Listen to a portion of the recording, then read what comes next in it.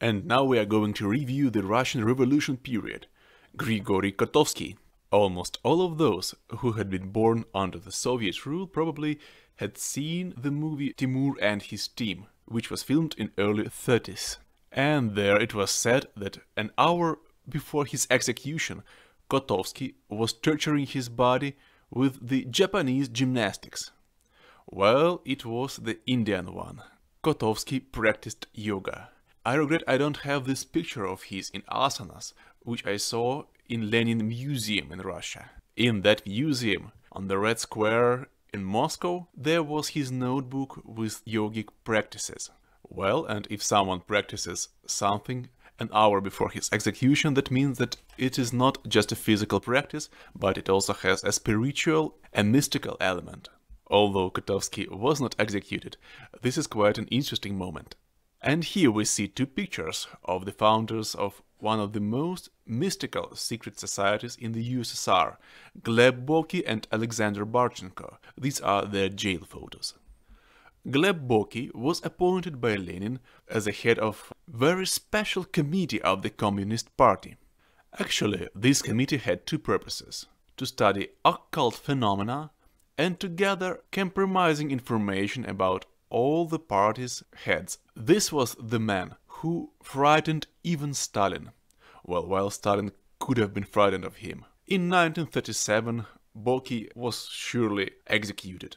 But before this, Boki, together with Alexander Barchenko, whom he considered to be his teacher, had created the People's Labor Union, a society which had its aim to study occult phenomena. It also had a purpose to establish connections with the East, intelligence service in the East, experiments with human psyche and experiments with mass consciousness. So in 1937 Boki was arrested. And he was shot almost in that very day when he was arrested because he had compromising information almost of all of the Communist Party leaders of that time, including Stalin himself.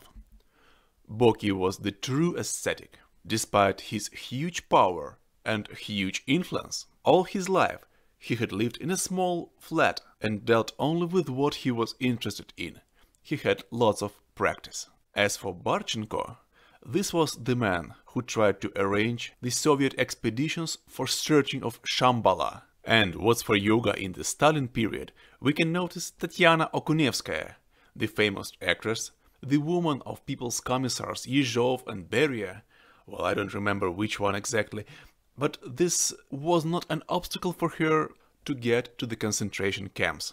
She was considered to be the sex symbol of Russia, well, not all sex symbols have a good fortune.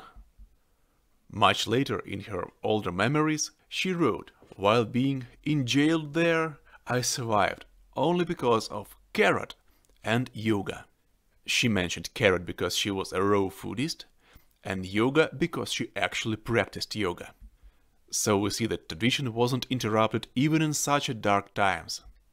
Another interesting person whom Solzhenitsyn had described in his archipelago Gulag, although he changed his name, was Dmitry Panin, who all this time in the camps practiced yoga, Hatha yoga in particular. And again, thanks to this, he managed to survive. About this you can read Solzhenitsyn. But not everybody was imprisoned. Mikhail Chekhov, the nephew of Anton Pavlovich Chekhov and the student of Stanislavski, the author of On the Technique of Acting. Well, actually the Stanislavski acting system is literally borrowed from the system of Steiner, the anthroposophical theater.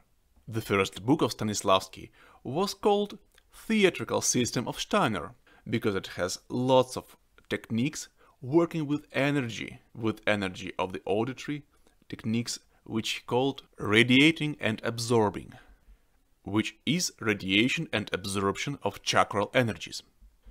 But Soviet authorities had hinted Stanislavski that anthroposophy is not our way, we need our own revolutionary system. Stanislavski was a wise man, considering the fact that he had lived a long and happy life, even with such rulers, and he rebranded the Steiner system to the Stanislavski system, the progressive and proletarian as we know it now. Of course, the system remained purely energetical and anthroposophical. Mikhail Chekhov was his student, and he had practiced not only anthroposophy, but also yoga. And in his memories, in the Technique of Acting, he writes, The philosophy of yoga was perceived by me quite objectively, without hope for a new world outlook, but without a slightest internal resistance. And of course, if we are talking about yoga in Stalin period, we must mention the academic Boris Leonidovich Smirnov. He was an academician specializing in surgery in medicine, not the Eastern studies, we must say.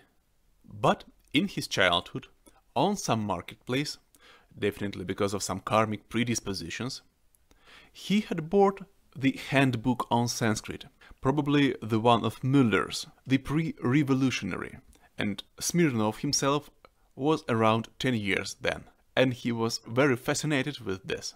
Without Hazel, he had learned Sanskrit, and then, when he became the hugely famous surgeon, surely he was exiled as any other good man of that times.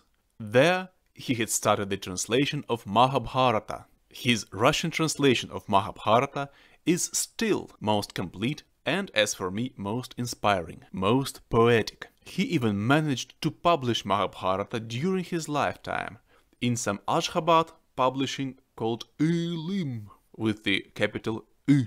I consider that on this translation the next generation of Soviet yogis and Soviet mysticists had grown.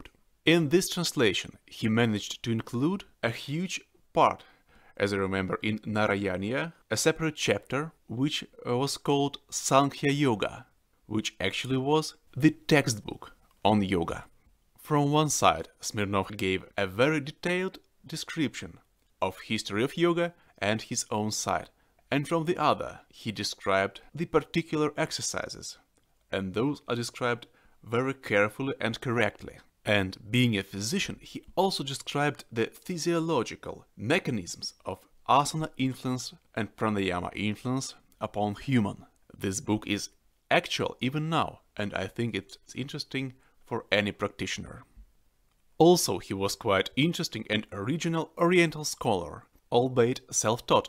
In previous part of my lecture I already quoted him concerning his theory on Brahmanical and Kshatriya controversy in India as an explanation of Brahmanical and Kshatriya styles of yoga. According to his biography, he was a very bright and inquisitive person, and obviously a deep practitioner. Where from had he taken his exercises is not quite clear, but as for me it's most close to the Shivananda yoga style, closer than to any other contemporary